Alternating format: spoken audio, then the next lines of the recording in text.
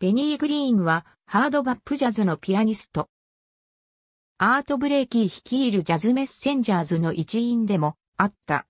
カリフォルニア州のバークリーに育ち、7歳からクラシックのピアノ曲を学んだ。父親がジャズのサクソフォン奏者だったため、早い年代からジャズに関心を示している。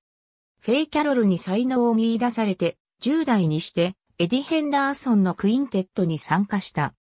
ハイスクールを卒業すると、サンフランシスコに過ごすが、職業音楽家としての成功は、ニューヨークに里帰りしてから果たした。1983年4月に、ベティ・カーターのバンドに入団するが、1991年からは、自身のトリオを結成している。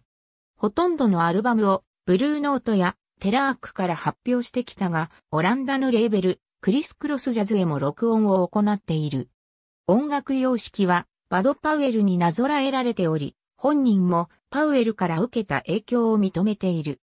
日本やアジアとの関わりは、2004年4月にリリースされたウンさんのファーストアルバム、イントロデューシングウンさん、2006年9月にリリースされた深津淳子のアルバム、ジャズンフルート、2010年5月にリリースされた杉山千恵のファーストアルバム、杉山千恵ミーツ、ベニーグリーンが挙げられる。アルミューズイック。ありがとうございます。